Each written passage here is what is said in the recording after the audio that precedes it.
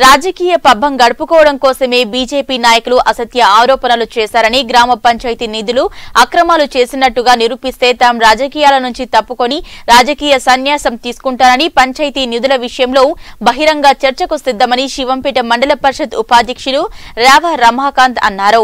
కొత్తపేటలో నిర్వహించిన విలేకరుల సమావేశంలో ఆయన మాట్లాడుతూ ఉప సర్పంచ్ బొల్లు లచ్చయ్య గ్రామ పంచాయతీ నుంచి అనుమతులు తీసుకోకుండా ఇల్లు నిర్మించడమే కాకుండా గ్రామ పంచాయతీ అభివృద్ధి అభివృద్ధికి సహకరించలేదని అన్నారు.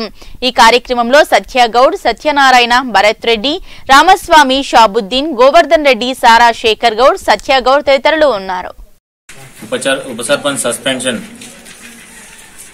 మాకు ఎటువంటి సంబంధం లేదు. చట్టపరంగా మేము ఇచ్చినటువంటి కంప్లైంట్కి స్పందించినటువంటి జిల్లా అధికారులు మరి తనను సస్పెండ్ చేయడం జరిగింది. నిన్న పెట్టినటువంటి పత్రికా విలేకరుల సమావేశంలో మరి గోపి గారు కానీ వాళ్ళకు సంబంధించినటువంటి వ్యక్తులు మాట్లాడినటువంటి ప్రెస్ మీట్ అవినీతి చేసినామని కేసులు పెట్టిస్తున్నామని అన్ని తప్పుడు తప్పుడు సమాచారాలు నేను ఇక్కడ మాట్లాడిండ్రు.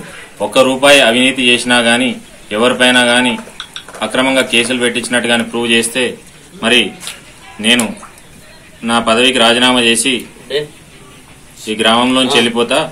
మరి ఒకవేళ వాళ్ళు వాళ్ళు కనుక నా పైన తప్పుడు ఆరోపణ చేసినట్టయితే మరి గోపి గారు గోపి గారికి చెప్తున్నా.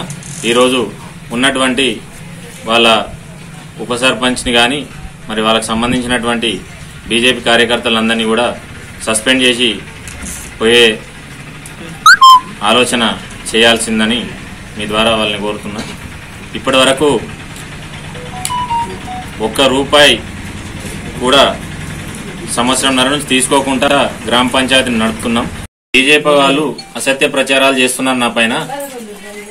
మరి నేను గ్రామంలోనే స్థానికంగా ఉంటూ గ్రామస్తులకు అందరికి పనిచేస్తుంటే మరి గ్రామ గ్రామంలో ఉండలేరు. గ్రామ పంచాయతీ మీటింగ్లు ఇంట్లో పెడుతుండ్రు హైదరాబాద్లో పెడుతుండ్రు అని మాట్లాడుతుండ్రు.